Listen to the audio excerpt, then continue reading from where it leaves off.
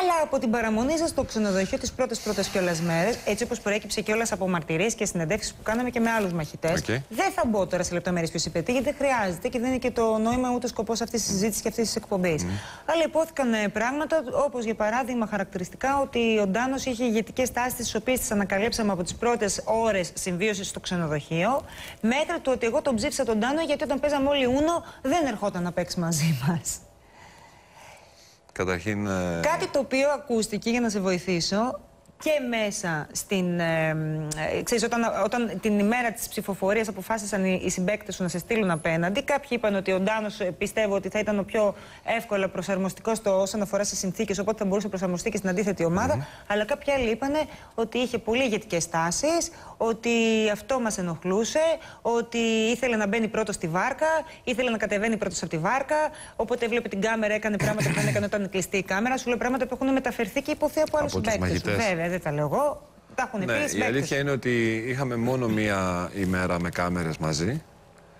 Η εμπειρία μου δεν ήταν μηδαμινή από κάμερες τέτοιες, γιατί με το ποδόσφαιρο είχαμε κάμερες και τηλεοπτικές συνεντεύξεις, αλλά ε, άλλο να έχεις δύο κάμερες και άλλο να έχεις ε, 40 και 70 κάποια στιγμή κάμερες γύρω-γύρω.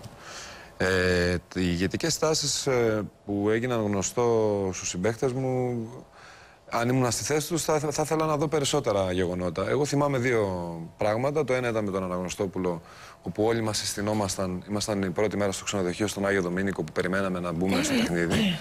Και με ενόχλησε τότε το ότι ενώ περιμέναμε όλοι να φάμε και μας είχαν σερβίρει, είχε κατέβει. Με τον Κώστα δεν έχουμε κανένα πρόβλημα καταρχήν. Απλά σου λέω τότε τι είχε γίνει.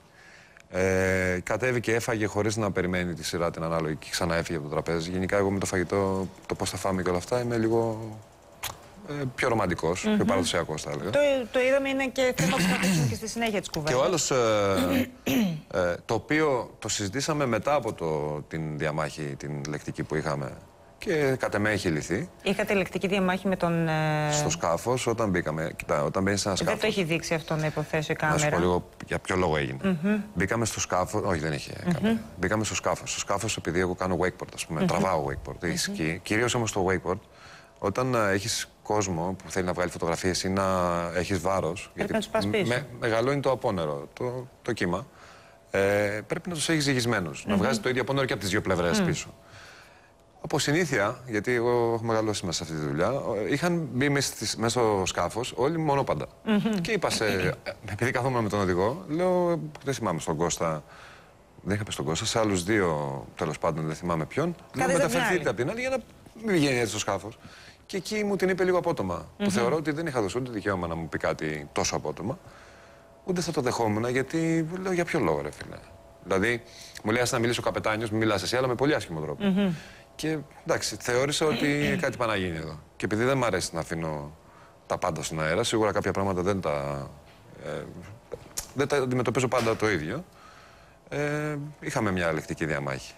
Αν αυτό έκρινε η ομάδα των μαχητών ότι ήταν ηγετικές τάσει, εντάξει, εγώ υπερασπίστηκα σε μια επίθεση λεκτική τον εαυτό μου και θεώρησα παραδοσιακά να φάμε όλοι μαζί και με ενόχλησε. Δηλαδή, είναι για μένα πιο ωραίο να το λες και να το εκδηλώνεις παρά να το κρύβεις και να δουλεύεις λίγο έτσι μέσα σου. Μμμ. Μετά επίσης είπαν ότι στο ξενοδοχείο σου είναι λίγο πιο απόμακρος και λίγο πιο μοναχικός. Καταρχήν δεν είχε να κάνει με τα παιδιά. Αν, ναι, ε, δεν ήμουν πολύ κοντά στα παιδιά. Δεν, δεν, ήταν λίγο κάπου στυλ πενταήμερες όλο αυτό. Όχι τα παιδιά ήταν πιτσιρίκια, μιλάμε για μεγάλα παιδιά σε θες το χρόνο σου, ανάλογη ναι. ηλικία που είχαν τις οικογένειές τους κτλ. Εγώ δεν μπορούσα να το ζήσω γιατί ήμουν ήδη ε, στα επαγγελματικά μου με το μυαλό. Και γενικά δεν ήξερα ακόμα τι γίνεται, που πάω. Όχι για το survivor, αν κάνω σωστά που πάω. Ε, δεν έχω αφήσει ποτέ την οικογένειά μου πάνω από μια εβδομάδα ή δέκα μέρες και δεν την έχω αφήσει ποτέ χωρίς να πάρω ένα τηλέφωνο τη μέρα. Καταλαβαίνετε λοιπόν τι ήταν για, αυτό, για μένα αυτό. Έτσι. Ήθελες το χρόνο σου δηλαδή.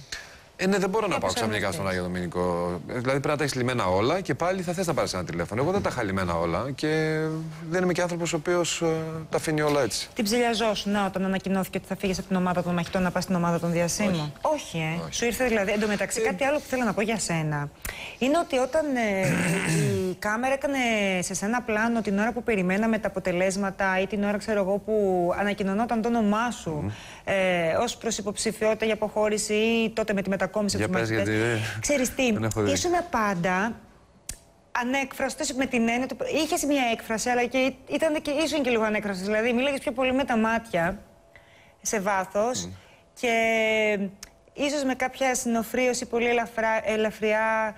Δηλαδή, δεν άφηνες να καταλάβουμε κατά πόσο μπορεί να σε έχει στεναχωρήσει αυτό ή κατά πόσο το περίμενες ή όχι. Γι' αυτό σε ρωτάω. Σου είχε έρθει εκείνη την ημέρα η ανακοίνωση τύπου ο ουρανό φοντιλή; Όχι. Εντάξει, μου φάνηκε περίεργο. Ε, γενικά δεν είμαι ένας άνθρωπος ο οποίος ε, είτε πελαγώνει είτε γενικά πανικοβάλλεται. Μέσα σου μπορούσες να το ερμηνεύσεις. Γιατί ρε φίλε Αυτό είναι ότι εγώ δεν είχα έκφραση. Γιατί γενικά είμαι και λίγο. Δε...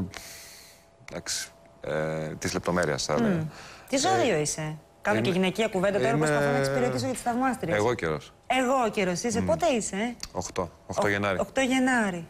Ωραία. Και ε, την ώρα που έγινε, ε, σκεφτόμουν. Κοίτα, πάντα μου αρέσει να αντιλαμβάνομαι σωστά τα πράγματα. Η αντίληψη είναι μεγάλο πράγμα γιατί σε βοηθάει για τη συνέχεια.